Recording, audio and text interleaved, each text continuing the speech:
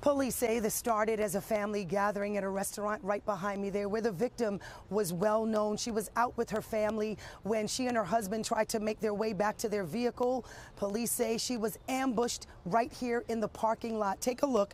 It all started just after midnight Sunday. This is where the 52 year old victim was allegedly confronted by 27 year old Eric Efren Corrado Gonzalez. Apparently, he's connected to the victim somehow, whether or not he's the father of her grandchild or her daughter's ex boyfriend, that's still unclear. Apparently, there was an ongoing family feud, and the suspect allegedly stabbed the victim several times right in the parking lot as she was trying to get into her car. Her husband tried to stop the attack. He was also stabbed, but he survived. What happened here is just shocking to people who live in the neighborhood.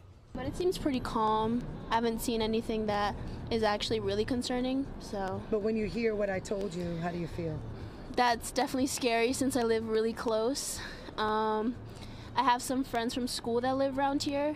Of course, this is devastating to the family. We know that police arrested Gonzalez in Linden, New Jersey, but charges against him are still pending. In West Hempstead, Nicole Johnson, Pix 11 News.